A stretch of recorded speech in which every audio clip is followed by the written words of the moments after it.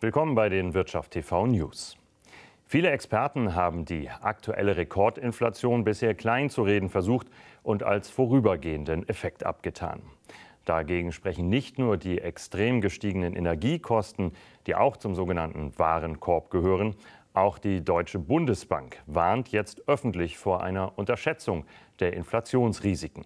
Damit wendet sie sich speziell an Banken. Der Bundesbankvorstand Joachim Würmeling sagte der Börsenzeitung, er sehe eine Gefahr darin, dass man sich derart auf die Auswirkungen der Pandemie fokussiere, sodass andere Risiken, die womöglich größer und auch längerfristig seien, zu wenig Aufmerksamkeit bekämen. Konkret denke er dabei zum Beispiel an die Folgen einer möglicherweise länger anhaltenden Inflation und einen damit verbundenen Zinsanstieg, wie man ihn in den USA und anderen Ländern bereits sehe.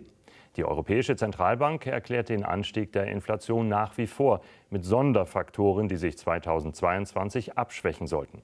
Mittlerweile gehen allerdings auch Europas Währungshüter davon aus, dass die Teuerungsraten langsamer wieder sinken werden als zunächst erwartet. Das waren die Wirtschaft TV News. Bis zum nächsten Mal.